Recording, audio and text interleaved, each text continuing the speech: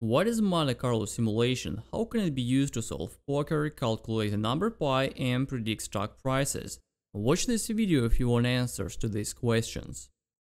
Consider an experiment with several possible outcomes where you want to estimate the probability of each outcome.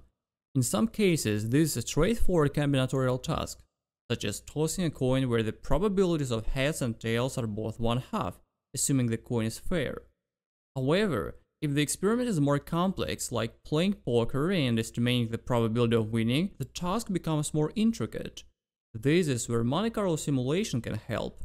The idea is extraordinarily simple. Simulate the experiment millions of times to obtain the distribution of results.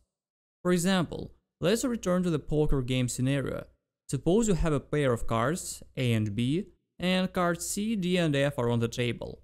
We can create millions of simulated games by removing cards A, B, C, D, and F from the deck and randomly selecting cards for other players from the incomplete deck. Finally, we determine the winner of each simulated game. After running n such simulations, let's say you won m games. The probability of winning from a given position in poker is then calculated as m over n. The same way, Monte Carlo simulation is used in many different disciplines, including engineering, finance, medicine, artificial intelligence, and many others, especially to estimate risks. Sometimes we cannot obtain an analytical solution using mathematics, and the only available approach is a numerical solution. The Monte Carlo method can help us with this as well. Let's consider a square and place a circle inside it.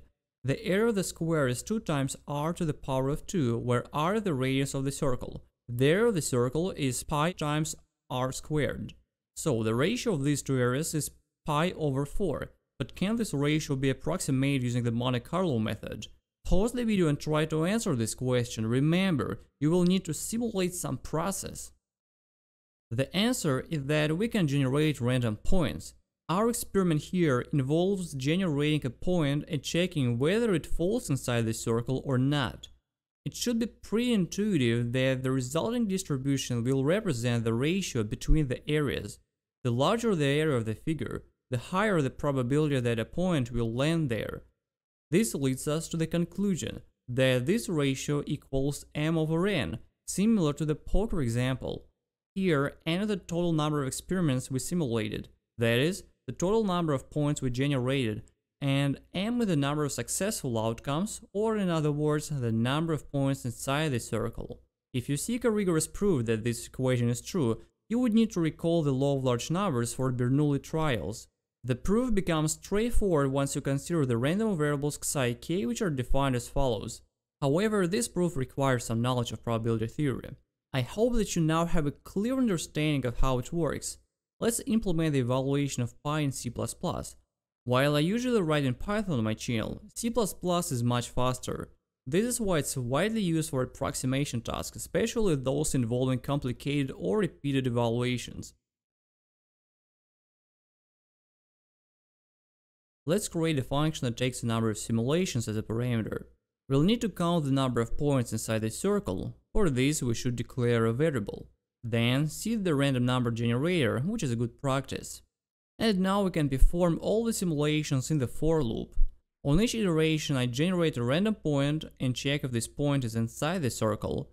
I chose a circle with a radius equal to 1. After this for loop as we discussed before, we can compute the number pi which I then return. I added main to call our function with the different numbers of points to generate. Let's compile this code and see how the approximation performs. The more points we generate, the more precise the approximation becomes. Imagine that we have a model that describes the behavior of stock prices.